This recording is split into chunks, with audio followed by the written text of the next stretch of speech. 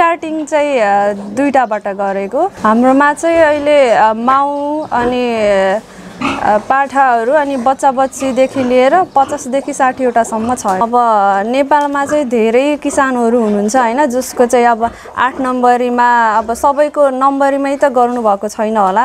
अनि हामी जस्तै थुप्रै हुनुहुन्छ होला। अनि त्यही भएर अब आठ नम्बरी भएकोले पनि केही गर्नु पर्यो अब किसानीहरूलाई चाहिँ। अनि त्यही भएर आठ नम्बरी अब भएकोलाई पनि दर्ता गर्न दिनु पर्यो। सबैजनालाई नमस्कार। आज चाहिँ म सानो लगानीमा सुरु गरिएको बङ्गुर फार्ममा चाहिँ आएको छु। र यहाँ मैले हजुरहरूलाई बङ्गुर पालन सम्बन्धी धेरैभन्दा धेरै जानकारीहरू दिनेछु। कसरी सुरु गर्ने कसरी हामीले चाहिँ थोरै लगानीबाट चाहिँ बङ्गुर पालनबाट मनज्ञ आम्दानी लिन सक्छौँ। र यसमा सबैभन्दा ठुलो समस्याहरू के छ? बजारका कुराहरू र बच्चाहरू चाहिँ कसरी हुर्काउनु गर्नु हुर्काउनु पर्ने हुन्छ यो सबैको बारेमा चाहिँ जानकारी दिनेछु। र अब चाहिँ हामी त्यतातिर कुरा गर्नेछौँ। यदि हजुरहरू मेरो च्यानल आशिष लामी छानेमा पहिलोपटक हुनुहुन्छ भने प्लिज सब्सक्राइब गरिदिनु होला र त्यसै गरी अरू विभिन्न फेसबुक पेजहरू पनि फलो गर्न सक्नुहुन्छ। अब चाहिँ हामी त्यतातिर कुरा गर्छौँ है त। र यहाँलाई मैले स्वागत गर्न चाहेँ। यहाँले चाहिँ आफ्नो परिचय दिनुहोस् न हामीलाई। नमस्कार म प्रेमा थापा मगर। यो एरियामा चाहिँ प्रेमा भनेर चाहिँ चिन्ने गरिन्छ हजुरलाई। हजुर।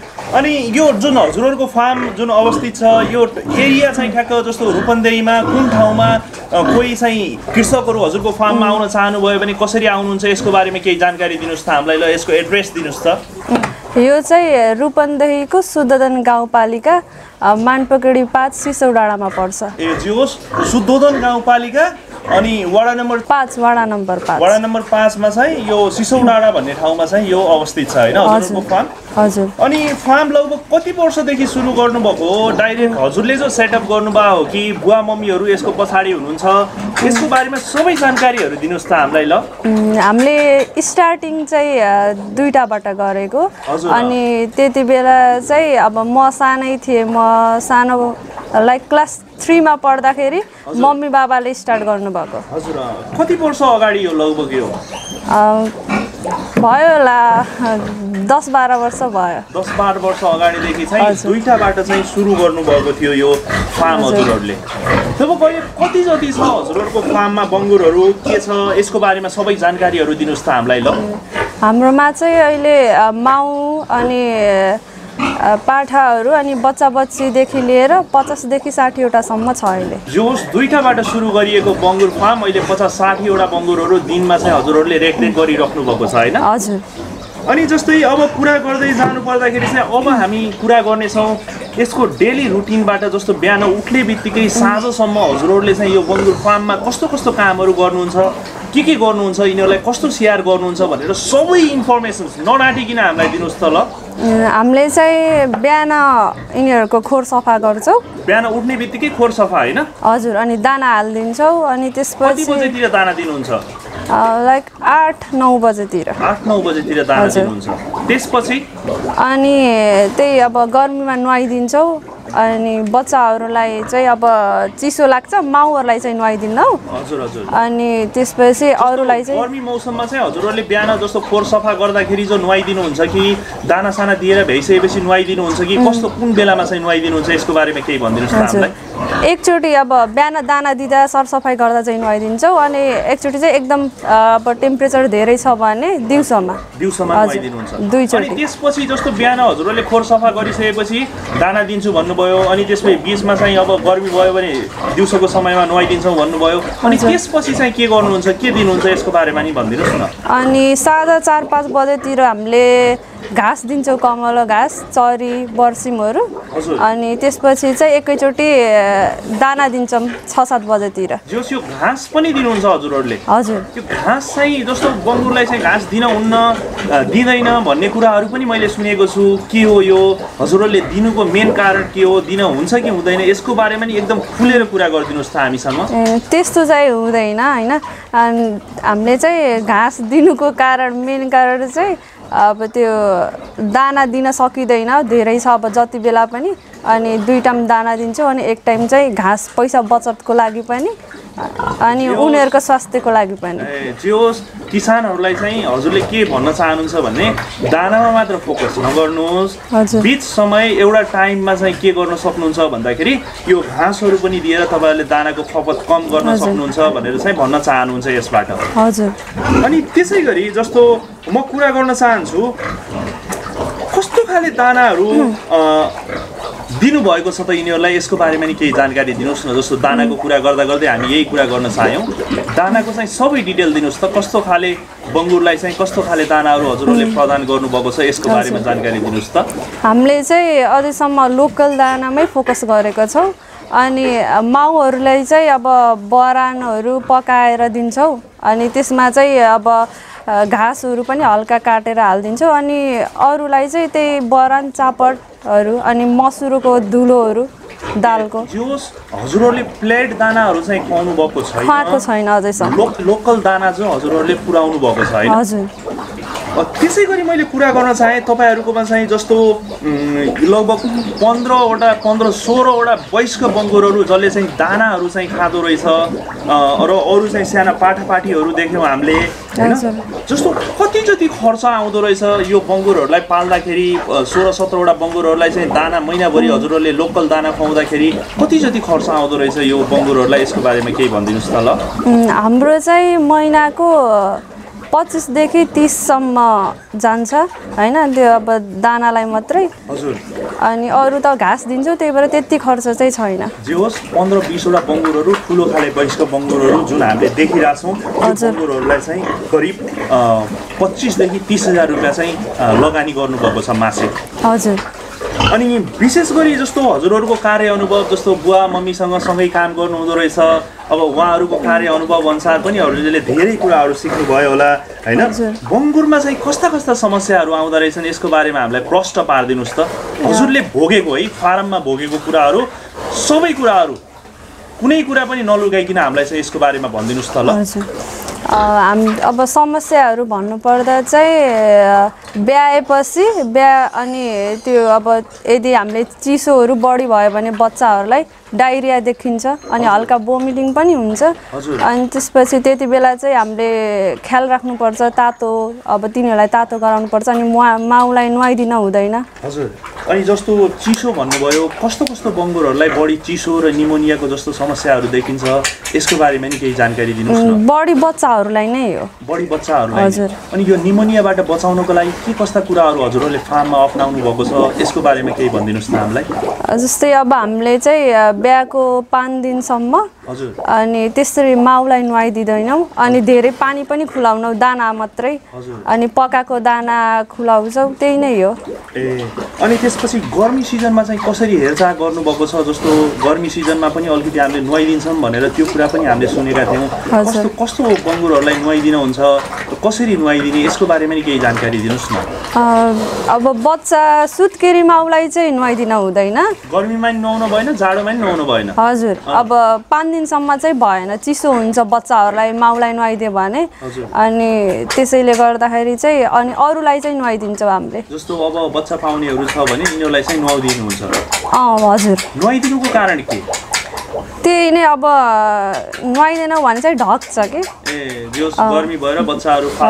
यस्तो खाले समस्याहरू नआउनुको। लागि चाहिँ हजुरहरूले यसरी नुहाइदिनुहुन्छ। हजुर। त्यसै गरी अब जस्तो कुनै पनि एउटा बङ्गुर अब को जुन पाठा अथवा पाठी विशेष गरी पाठी चाहिँ तयार हुन्छ त्यो तयार भएको पाठी चाहिँ कति महिनामा चाहिँ त्यो पाठा खोज्न योग्य हुन्छ यसको बारेमा नि केही जानकारी दिनुहोस् त हामीलाई। यो चाहिँ अब आठदेखि नौ महिनासम्म छतिर पनि खोज्छ होइन? छ महिनातिर तर योग्यको चाहिँ खास आठदेखि नौसम्म आठ नौ महिनामा लगाइदिँदा ठिक हुन्छ। महिना सात महिनामा खोज्यो भने तपाईँहरूले चाहिँ लगाइदिनुहुन्छ कि हुँदैन? लगाइदिन्नौँ हामीले। यस्तो चाहिँ गर्नुहुन्न हजुर। होइन? जोस् त्यसलाई चाहिँ मेच्योर्ड भइसकेपछि मात्र किसानहरूलाई चाहिँ पाठाहरू मिसाउनु होला नौ महिना क्रस भइसकेपछि मात्र मिसाउनु होला भनेर भन्नुहुन्छ। हजुर। जस्तो यो छिटै खोज्नु भनेको के हो दानाको केही कुराहरू यसमा आउँछ र? दानाको कुरा हजुर अब हामीले त्यसलाई अब जति खुवाउन सक्यो त्यति छिटो हो खोज्ने त। त्यति छिटो हुर्किने हो। हजुर। ए जस्तो अनि माउको लागि जस्तो कस्तो पाठापाठीहरू हजुरहरूले विशेष गरी आफ्नो फार्ममा छनौट गर्नुहुन्छ? अनि त्यसपछि यो जुन माउ बनाउन राखेको जुन ऊहरू छ यो पाठापाठीहरू छ यिनीहरूको चाहिँ गुणहरू कस्तो हुनुपर्छ? यसको बारेमा नि केही कुराहरू गरिदिनुहोस् न हामीलाई। हजुर त्यो चाहिँ हामीले माउ छनौट गर्दा चाहिँ हल्का लामो हेर्छौँ होइन? लामोको चाहिँ थुन बढी हुन्छ। लामो साइज भन्न खोज्नु हजुर हजुर। अनि त्यसपछि बाह्रदेखि चौधवटा थुनसम्म भएको चाहिँ हामीले माउको लागि छनौट गर्छौँ। ए बाह्रवटादेखि चौधवटा सोह्रवटासम्म थुन भएको चाहिँ हामीले छनौट गर्नुपर्ने हुन्छ। यो बङ्गुरको माउहरू चाहिँ हामीले ब्रिडहरू बनाउनको लागि। हजुर। अनि त्यसै गरी जस्तो मानिलिउँ एउटा बङ्गुर चाहिँ बच्चा दियो। बच्चा दिइसकेपछि त्यो कति दिनमा चाहिँ फेरि ब्याउने हुन्छ? कति दिनमा त्यसले पाठा खोज्छ यसको बारेमा नि केही कुराहरू खोलिदिनुहोस् न हामीलाई। अब त्यो चाहिँ बच्चा हुर्किन पर्छ होइन? अनि हामीले चाहिँ अब त्यो बच्चा हुर्किसकेपछि पैँतिसदेखि चालिस दिन कटेपछि बल्ल बेच्छौँ। अनि त्यो बच्चा छुट्याइसकेको एक महिनाभित्र चाहिँ खोज्छ। एक महिनाभित्र चाहिँ त्यो पाठाहरू चाहिँ यिनीहरूले चाहिँ खोज्ने गर्छ। हजुर। अनि कति दिनभित्रमा यिनीहरूले बच्चाहरू दिने गर्दो रहेछ? केही जानकारी छ हजुरलाई? त्यो चाहिँ एक सय चौध दिनसम्म। एक सय चौध दिनभित्र जस्तो। बच्चा जन्माएको एक सय चौध दिनभित्र फेरि अर्कोचोटि बच्चा बच्चा जन्माएको होइन त्यो डाँगो लगाएको। एक सय चौध दिनभित्र। एक सय चौध दिनभित्रमा चाहिँ पाठापाठीहरू चाहिँ दिन्छ। हजुर। अनि त्यसै गरी एउटा बङ्गुरले चाहिँ औषधमा कतिवटासम्म पाउने गर्छ? जस्तो पहिलो बेतमा कतिवटा पाउने दोस्रो बेतमा कतिवटा पाउने हुन्छ कि लगभग बराबर यिनीहरूले पाइरहेको हुन्छ? यसको बारेमा नि केही प्रश्न पारिदिनुहोस् त हामीलाई। हजुर। पहिलो बेडमा चाहिँ थोरै नै ब्याउँछ छ छदेखि दससम्म। अनि पछि चाहिँ दस बाह्र चौध सोह्रसम्म ब्याएको छ। हजुरहरूको फार्ममा कतिवटासम्म पाएको छ त्यो एउटा राम्रो खाले बङ्गुरले? सत्रवटासम्म पाएको छ। सत्रवटासम्म यो फार्ममा चाहिँ हजुरहरूले बच्चाहरू त्यो बङ्गुरले चाहिँ पाएको छ। हजुर। अनि जस्तो त्यसै गरी बच्चा थोरै भएको राम्रो हो कि धेरै भएको राम्रो हो? सबैलाई बचाउन सकिन्छ कि सकिँदैन? यसको बारेमा नि केही जानकारी दिनुहोस् न हामीलाई। हजुर सबै चाहिँ बचाउन गाह्रै हुन्छ होइन? अनि अब थुन पनि थुन हेरी हेरी हुन्छ। अब बाह्रवटा थुन भएकोले सत्र अठारवटा पायो भने बचाउन सकिँदैन। अनि त्यही भएर दसदेखि बाह्रसम्म पाएको चाहिँ ठिक हुन्छ। दसदेखि बाह्रवटा पायो भने लगभग सबै हन्ड्रेड पर्सेन्ट जो बच्चाहरू चाहिँ त्यो चाहिँ हुन्छ है। अनि त्यसै गरी जस्तो अर्को एउटा कुरा छ बङ्गुरले चाहिँ आफ्नो बच्चाहरूलाई चाहिँ च्यापेर मार्ने गर्छ। धेरै समस्याहरू आएको छ भनेर किसानले भन्नुभएको थियो। र हजुरले चाहिँ आफ्नो फार्ममा कस्ता कस्ता उपायहरू अप्नाउनु भएको छ? अनि के साँच्चीकै बङ्गुरले आफ्ना पाटापाटीहरू च्यापेर मार्ने हो त? यसको बारेमा नि केही कुराहरू हामीलाई गरिदिनुहोस् त ल। एकदम प्रष्ट तरिकाले नडाँडिकन भन्नुहोस् है। यो कुराहरू प्रायः जस्तो किसानले लुकाएको पाइन्छ। यो कुरा कुरा गरिदिनुहोस् त हामीलाई ल। अब यो चाहिँ अब यो समस्या उ यसको समस्याको हुन्छ नि हल चाहिँ अब त्यो साँचो हुनुपर्छ खासमा चाहिँ। साँचो भन्नाले छुट्टै पिँजडा अथवा छुट्टै त्यो पाटापाटीहरू थुन्ने ठाउँ भन्नु माउलाई माउलाई। माउलाई? हजुर। हजुर। अनि त्यो चाहिँ हामीहरूसँग छैन। अनि हामीले चाहिँ अझैसम्म अब घरेलु चाहिँ अप्नाएका छौँ। अनि अब बच्चा बिहाको पाँच दिनसम्म चाहिँ हामीले दुध खुवाउने अनि त्यसपछि दुध खाइसकेपछि चाहिँ छुट्टै थुन्ने गरे गरेका छौँ। ए छुट्टै कोठामा चाहिँ हजुरहरूले थुन्नुहुन्छ। हजुर। अनि दुध खाने बेलामा मात्र उनीहरूलाई चाहिँ छोड्नुहुन्छ। जस्तो। दिनमा कति टाइम जति हजुरहरूले यिनीहरूलाई चाहिँ दुध खानालाई छोडिदिनुहुन्छ के छ यसको बारेमा नि केही कुरा भनिदिनुहोस् न हामीलाई। अब दिनमा त चार पाँच टाइम चाहिँ हुन्छ दिनमा चार पाँच टाइम हामीले चाहिँ दुध खान चाहिँ यिनीहरूलाई चाहिँ छोडिदिनुपर्छ। हजुर। ए त्यसै गरी लगभग कति जति लगानीमा हजुरहरूले यो फार्म सुरु गर्नुभएको हो अहिले चाहिँ फार्म हेर्दाखेरि एकदम निकै ठुलो नै देखिन्छ। के छ यसको बारेमा नि केही कुराहरू खोलिदिनुहोस् न हामीलाई। हामीले स्टार्टिङ चाहिँ नौ दस हजारबाट गरेको दुइटाबाट गर्दा चाहिँ। हजुर। अनि अहिले अब यो सबै बनाएको चाहिँ धेरै भएको छैन। अब राम्रो हुँदै गएर बल्ल हामीले थपेको हो। सुरुमा चाहिँ हामीले गरेको होइन। दुइटा मात्रै गरेको। अनि सबै गरेर चाहिँ दुई तिन लाखसम्म तिन लाख। जति चाहिँ हजुरहरूले यसरी आफ्नै यहीँ भएको गिटी बालुवाहरू युज गरेर। आफ्नै त्यो मेन पावरले चाहिँ गर्दाखेरि तिन लाख साढे तिन लाखसम्म चाहिँ भेटेको छ यो फार्म। बनाउँदाखेरि लगभग कतिवटा जति कोठाहरू छ हाम्रो यो फार्ममा कति जति रहेछ के छ यहाँ चाहिँ पन्ध्र सोह्रवटा छ 15 अनि। एउटा गोदाम छ माउहरू चाहिँ सजिलैसँग हामीले पाल्न सकिन्छ हजुर र त्यसै गरी अर्को कुरा एउटा मैले सोध्न चाहेँ। एउटा माउबाट लगभग कति जति आम्दानी लिन सक्नु हुँदो रहेछ? एउटा किसानले जस्तो ब्रिडमै काम गर्नुभयो भने कति जति। लगानी लिन सक्नुहुँदो रहेछ? यसको बारेमा नि केही कुराहरू भनिदिनुहोस् न। त्यो चाहिँ अब एक ब्याटमा हामीले चाहिँ अब पचासदेखि पचहत्तरसम्म सकिन्छ। पचास हजारदेखि पचहत्तर हजारसम्म हजुर। बच्चाहरू बेचेर मात्र हामीले कमाउन सक्छौँ। हजुर। अनि जस्तो बच्चाको रेटहरू के छ? हजुरहरूको फार्ममा कसरी चाहिँ बच्चाको रेटहरू कसरी दिनुभएको छ के छ? यसको बारेमा नि केही कुराहरू भनिदिनुहोस् न हामीलाई। हजुर हाम्रो चाहिँ बच्चा पैँतिस दिन पुगेपछि मात्रै दिन्छौँ हामीले चाहिँ। अनि पाठालाई छ हजार र पाठीको चाहिँ पचपन्न सय छ। ए पाठालाई चाहिँ छ हजार र पाठीलाई चाहिँ पचपन्न सय रुपियाँमा यहाँ। फार्मबाट चाहिँ बच्चाहरू जो पनि किसानहरू आउनुभयो भने यहीँ आएर चाहिँ खरिद गर्नुपर्ने हुन्छ उहाँहरूले। हजुर। अनि जस्तो अब त्यसै गरी अर्को एउटा कुरा गर्न चाहेँ मैले मन्थली इन्कम जस्तो पन्ध्र सोह्रवटा हजुरहरूले माउ पाल्नु भएको छ मन्थली इन्कम चाहिँ कति हुँदो रहेछ कति कमाउनुहुन्छ बच्चाहरू बेचेर रोटेसनहरू मिलाउँदाखेरि लगभग टोटल खर्च नकटाइकन कति जति आम्दानी हुँदो रहेछ यो यसको बारेमा भनिदिनुहोस् न। हाम्रो एकदेखि डेढसम्म चाहिँ हुन्छ मन्थली इन्कम एक लाखदेखि डेढ लाखसम्म मजाले हजुरहरूले महिनाको चाहिँ कमाउनुहुन्छ। हजुर। अनि जस्तो यो एक लाखदेखि डेढ लाख कमाउनको लागि एउटा किसानले भर्खरै फार्म सुरु गर्नुभयो भने कति महिना जति कुर्नु पर्ने रहेछ के छ? अब त्यो चाहिँ एक वर्षभन्दा धेरै चाहिँ टाइम त लाग्छ। अब माउलाई अब डाँगो लगाइदिनु पर्यो होइन? अनि अब त्यति बेला नै अब आठ महिना त्यतिमै जान्छ। अनि त्यसपछि त्यसको तिन महिनामा पाउने हो। अनि तिन महिना प्लस अनि बच्चा हुर्किन एक महिना गरेर लाग्छ एक वर्ष त। जे होस् कोही सामान्य किसानले आजको दिनबाट फार्म सुरु गर्दै हुनुहुन्छ भने उहाँहरूले यसमा लगानी गर्दा गर्दा कमाइ खाने टाइम भनेको लगभग एकदेखि डेढ वर्षमा मात्र उहाँहरूले बच्चाहरू बेचेर चाहिँ कमाइ गर्न सक्नुहुन्छ। हजुर। तर मासुको लागि के छ? कति महिनामा बेच्न तयार हुन्छ यो हजुरहरूको फार्मको अनुभव अनुसार? मासुको लागि चाहिँ अब त्यो खुवाइ अनुसारमा अब खुवाइमा भर पर्छ। अनि हामीले चाहिँ अझैसम्म त्यस्तो गरेका छैन हाम्रो चाहिँ माउलाई मात्रै फोकस गरेका छौँ बच्चामा। अनि त्यो चाहिँ लगभग अब खुवाइ अनुसार एक वर्ष नौ महिना एक वर्ष नौ। महिनामा चाहिँ मासुको लागि चाहिँ एउटा तयार हुन्छ, हजुर। तयार गर्नुभएको छ हजुर र त्यसै गरी जस्तो फार्म दर्ता गर्नुभएको छ कि छैन फार्म दर्ता गर्नाले फाइदा भएको छ कि छैन गर्नुभएकै छैन कि के छ यसको बारेमा नि केही प्रश्न गराइदिनुहोस् न हामीलाई।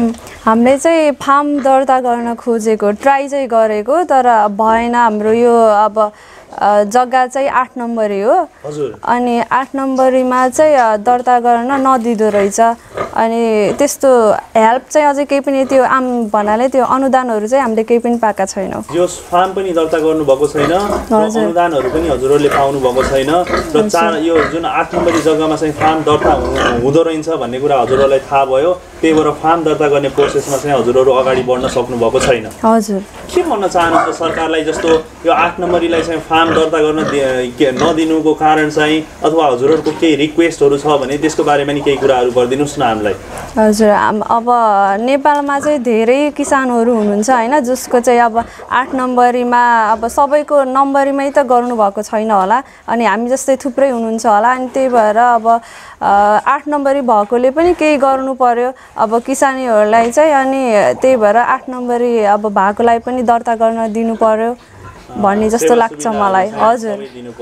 अनि अन्त्यमा चाहिँ हजुरहरूले जस्तो बङ्गुरहरू बिरामी भयो अनि त्यसको लागि चाहिँ उपचारहरूको लागि चाहिँ हजुरहरूले कहाँ सम्पर्क गर्नुहुन्छ कहाँबाट औषधिहरू लिएर आउनुहुन्छ के छ यो यिनीहरू चाहिँ बिरामी हुन्छ कि हुँदैन दबाईहरू खुवाउनुहुन्छ कि हुन्न यसको बारेमा नि केही जानकारीहरू दिनुहोस् न हामीलाई। बिरामी चाहिँ त्यसरी हुँदैन त्यही अब बच्चाहरूलाई डाइरिया हुन्छ अब त्यही चिसो भयो भने त्यो ख्याल गर्नुपर्छ अनि अब दबाई भन्दाखेरि चाहिँ हामीले जुकाको औषधि चाहिँ खुवाउँछौँ कति कति महिनामा खुवाउनु हुँदो रहेछ जुकाको औषधि? यसको बारेमा केही भनिदिनुहोस् त हामीलाई। छ महिनामा हो। छ छ महिनामा चाहिँ हजुरहरूले हजुरहरूको फार्ममा चाहिँ जुकाको औषधि खुवाउनुहुन्छ। हजुर। के छ यो औषधिको लागि तपाईँहरू बाहिरै किन्न जानुहुन्छ कि यहीँ कतैबाट पाउनुहुन्छ अथवा सरकारले यहीँबाट दिन्छ हजुरहरूलाई के छ? यो चाहिँ अब भेटनेरीबाट किन्नुपर्छ। किन्नु चाहिँ हुन्छ। हजुरहरूले? हजुर। अनि जस्तो अब धेरै कुराहरू चाहिँ हामीलाई सिकाउनु भयो र अन्त्यमा चाहिँ के भन्न चाहनुहुन्छ जति पनि हाम्रा आदरणीय दाजुभाइ दिदीबहिनीहरूले हजुरलाई सुनिराख्नु भएको छ। उहाँहरूलाई चाहिँ हजुरको तर्फबाट के सन्देश दिनुहुन्छ? यसको बारेमा केही भनिदिनुहोस् न हामीलाई। हजुर। मैले चाहिँ के भन्न चाहन्छु भने अब म जस्तै युवाहरू थुप्रै हुनुहुन्छ होइन? अनि अब विदेश गएर अनि कमाउन खोज्नुहुन्छ। अब हाम्रो स्वदेशमा बसेर गर्ने चलन चाहिँ धेरै छैन। अनि अब यदि तपाईँहरू बाहिर जानुभएको छ भने पनि बाहिर जानुहोस् होइन? बाहिर गएर केही कमाएर आएर चाहिँ स्वदेशमै केही गर्नुहोस् अब भन्छु म चाहिँ विदेशमा चाहिँ जानुहोस् नजाने होइन तर केही। वर्ष पैसा कमाइसकेपछि स्वदेशमै आएर सानो ठुलो केही उद्योग अथवा केही। व्यवसाय चाहिँ सुरु गर्नुहोस् भन्न चाहनुहुन्छ हजुर हस्त प्रेमाजी हजुरलाई धेरै धेरै धन्यवाद। हजुरले आफ्नो महत्त्वपूर्ण समय हामीलाई दिनुभयो। धेरै कुराहरू हामीले सिक्ने अवसर पाएका। छौँ। अब आउने दिनहरूमा पनि हजुरको फार्म अझै ठुलो भएको हेर्न चाहन्छौँ र हजुरले यो। फार्मलाई बढाएर अझै ठुलो बनाएको हामीले देख्न चाहन्छौँ र आउने दिनहरूमा पनि फेरि हजुरसँग यसरी नै हामीले कुरा गर्नेछौँ। हजुरलाई धेरै धेरै धन्यवाद। धन्यवाद हजुरलाई पनि।